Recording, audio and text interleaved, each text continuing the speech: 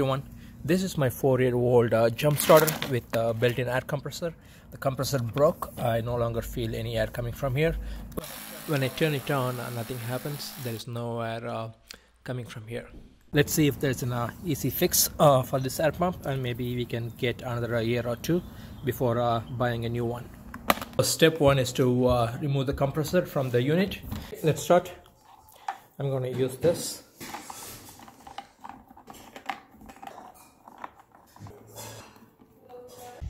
so here is our uh, compressor unit detached. There is our electric motor which rotates the piston and the piston moves inside the tube up and down and that's how the compressed air comes out. So the next step is to uh, uh, probably remove these uh, two screws and uh, probably these two so we can uh, take the unit out. So let's do that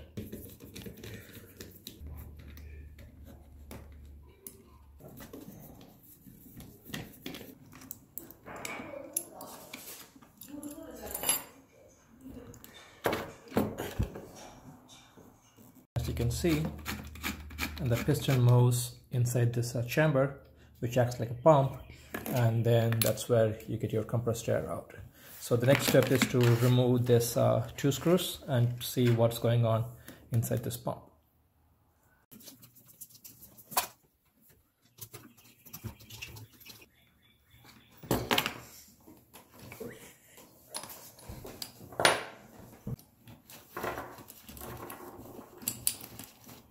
there's a piston.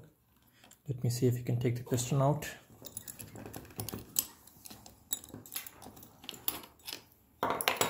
There you go. So this probably this ring is all worn out and that's why there is no pressure.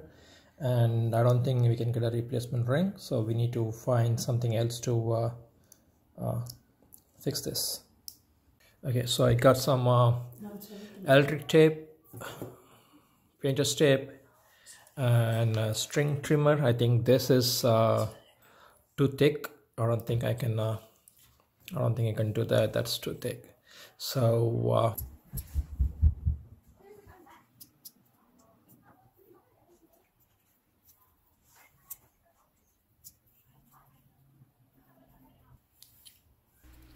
yep that's a pretty tight fit. Okay looks like this is gonna work uh, this is just a temporary solution so let's see how good it is.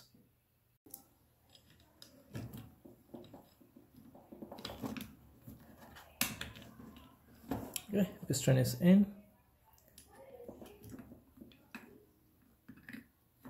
Okay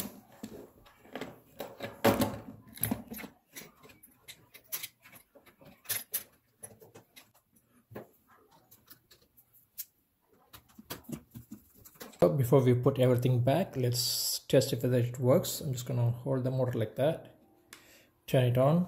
And we are back in business so let's put everything back. Okay everything is back.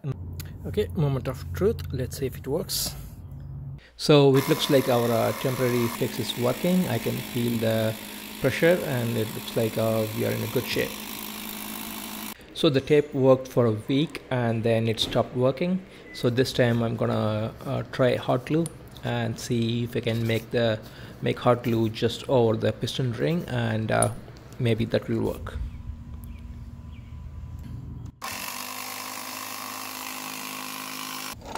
So the hot glue lasted for a couple of cycles. I think the problem is lack of uh, lube. So this time I'm just gonna add some pump oil and uh, go with uh, regular tape. And this one looks like uh, it's working pretty good. So let's see.